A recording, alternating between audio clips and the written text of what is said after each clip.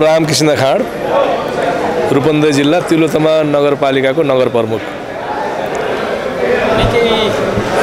जनताले माया गरेर तपाईँलाई निर्वाचित गराएसँगै छोटो समयमा तपाईँले नीति तथा कार्यक्रम सार्वजनिक गर्नुभयो। मुख्यतः हो तिलोतमा नगरपालिकामा देशकै नम्बर नगरपालिका पनि हो। के केलाई प्राथमिकतामा राख्नुभएको छ?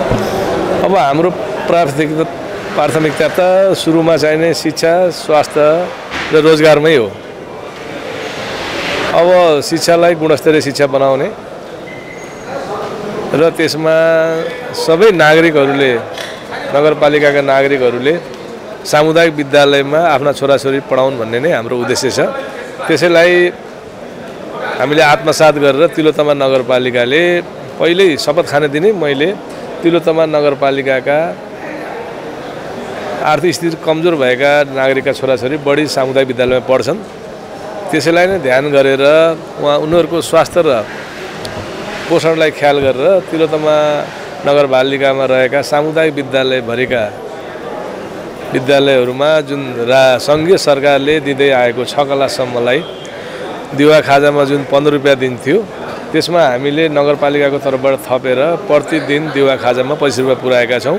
त्यसले कम्तीमा पनि सरकारी स्कुलको विश्वसनीयता बढ्ने सरकारी स्कुलप्रति आकर्षण बढ्ने र सरकारी स्कुलमा पढ्ने विद्यार्थीहरूको आर्थिक स्थिति कमजोर हुन्छ स्वास्थ्य पनि कमजोर हुन्छ भनेर उनीहरूलाई पोषण र चाहिने स्वास्थ्यलाई ख्याल गरेर प्रति दस रुपियाँ हामीले प्रति विद्यार्थी दस रुपियाँ थपेका छौँ।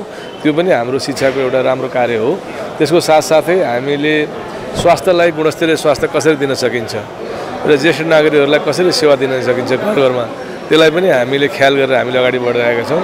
र युवाहरूलाई रोजगारसित कसरी जोड्न सकिन्छ? यु इलमसित कसरी जोड्न सकिन्छ? भनेर हामीले एउटा इबिक हेल्प डेस्क बनाएका छौँ।